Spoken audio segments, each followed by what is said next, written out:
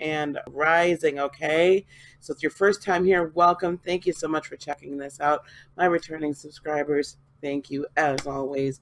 I love that you guys um, allow me to serve you. So, without further ado, let's get into the reading. Okay. Got a lot going on today for you this month. This month in July, remember, we've got two eclipses, right? We had the solar eclipse on the 2nd of July, and at the time of this recording on the 5th, we're still feeling some of that energy, okay?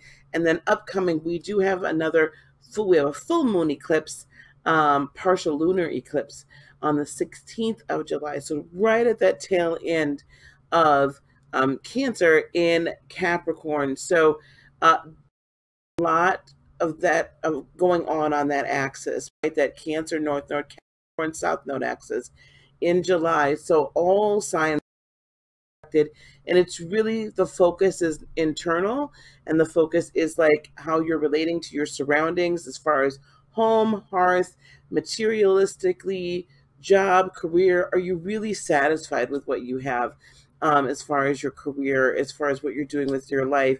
Are you really feeling like you're really operating on your life purpose or is it just kind of like kind of going and the universe right now is really kind of forcing us to do that? That um, first of all, the overall energy towards you is a great month to start new things. Ace of Crystals, like business start, right? So this is like the Ace of Pentacles, starting a new business, especially if it's a spirit in the spiritual or metaphysical um, area, genre, what have you, um, sphere. You really want to focus in on that. This is a great time for.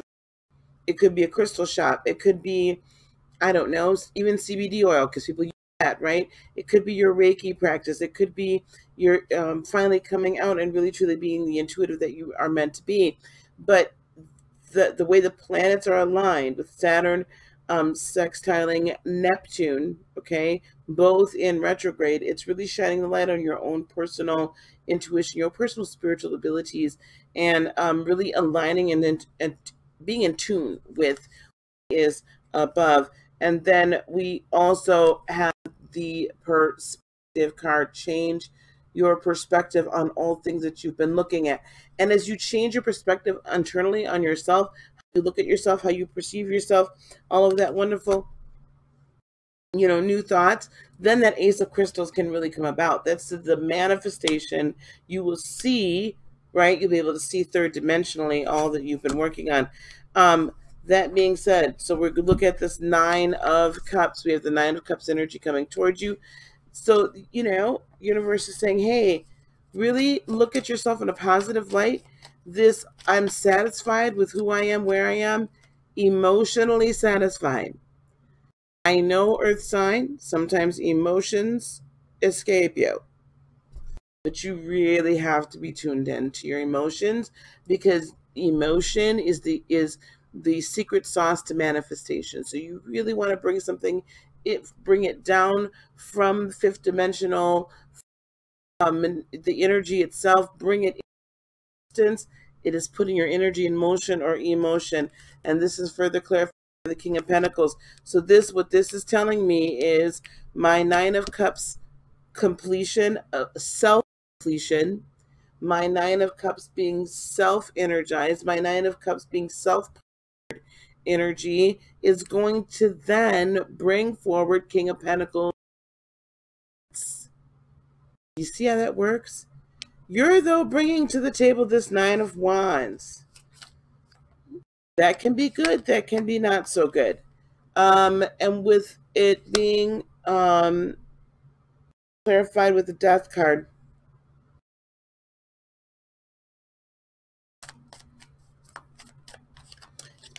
this is actually, oh my gosh, we have the Seven of Swords here again. So we have the Seven of Swords here and the Seven of Swords at the end. This tells me something big. I'm looking at this Nine of Wands, and the energy that I'm getting is not so much rest. It is this um, verbiage. I've come so far. I've done so much. I've put so much into it. I should be getting more out of it or I've I've been on this particular path for so long and I have to defend my position as to why I'm doing it. I'm not really willing to change. I'm just going to kind of sit here with this Nine of Wands. I'm going to be very, which is seemingly going to um, bring me harvest. But it's almost as if deep down inside you kind of know it's not going to be as fulfilling, as large of a harvest as it could be. But you're defending your position as to why you're there. But you want to change. You want something new. You wish to transform. But you're feeling like time has been stolen from you. And you're finally seeing the lies or the untruths that have been spoken over you and how they're affecting you, and those that you've spoken over yourself. I apologize.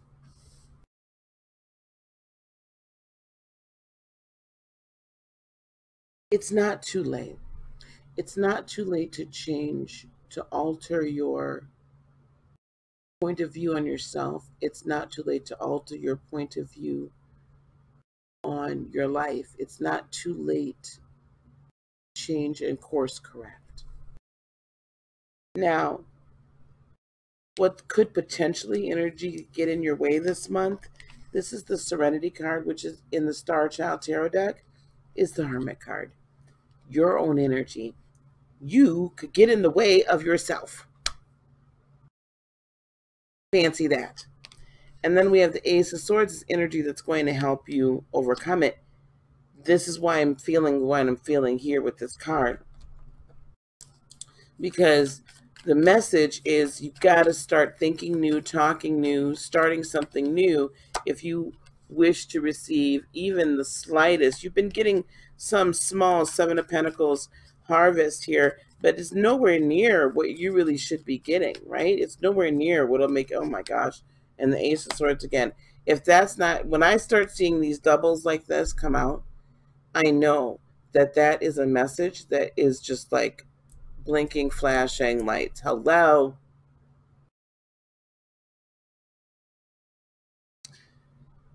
If you were to start with this new idea, if you were to start speaking well over, if you were to change course, if you were to course correct and be willing to admit that perhaps you were going at it the wrong way.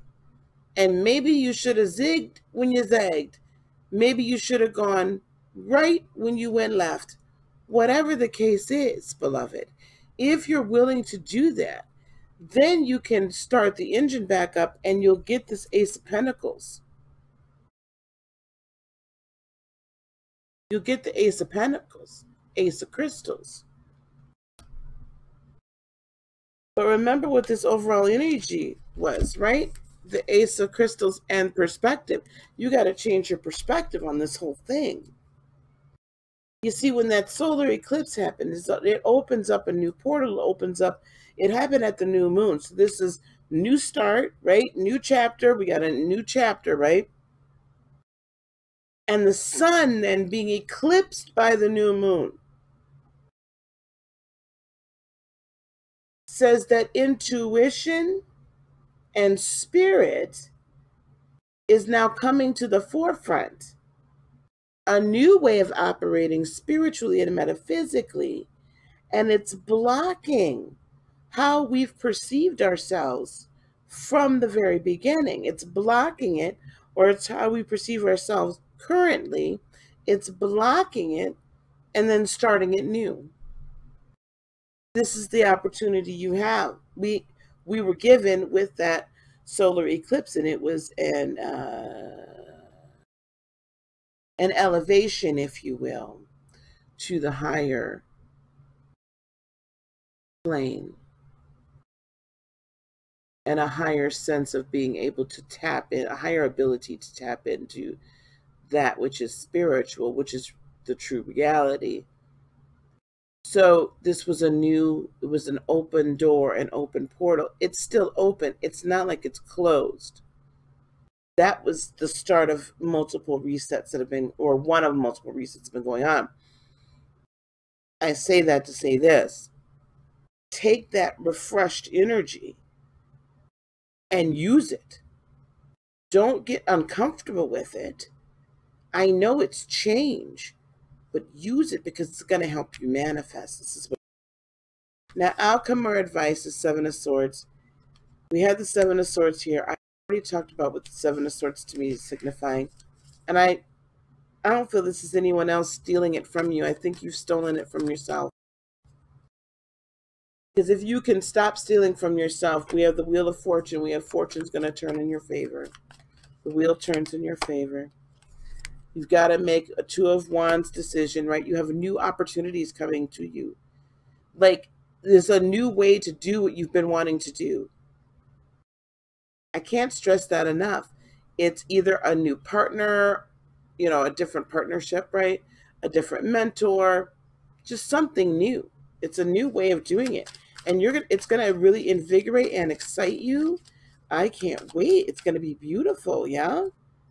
Mm. And eight of wands, and it's gonna be good for you to move forward with it and profitable. But you have to stop stealing your own abundance from yourself.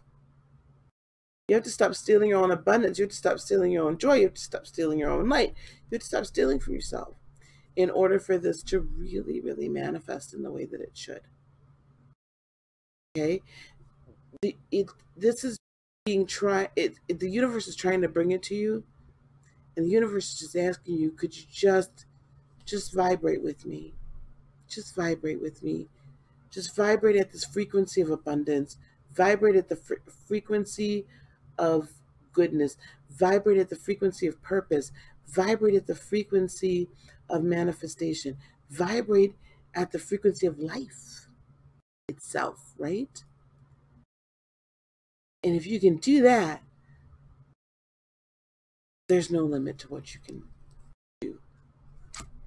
This is what I have for you. Thank you so much for watching. Please do consider liking and subscribing. Hit the subscribe button on one of these sides um, hit that like button and do leave me some comments if you will. Um, I am having tarot class. We're going to do a spot about that at the very end of this video. So do stay tuned for that. And you can always book um, readings with me or Reiki energy healing sessions or spiritual cleansing sessions at heartofinspiration.net. All that information is down below in the description box. Peace, love, blessings, and joy be unto you today, tomorrow, and for all eternity. I love you so much. Namaste. Bye bye.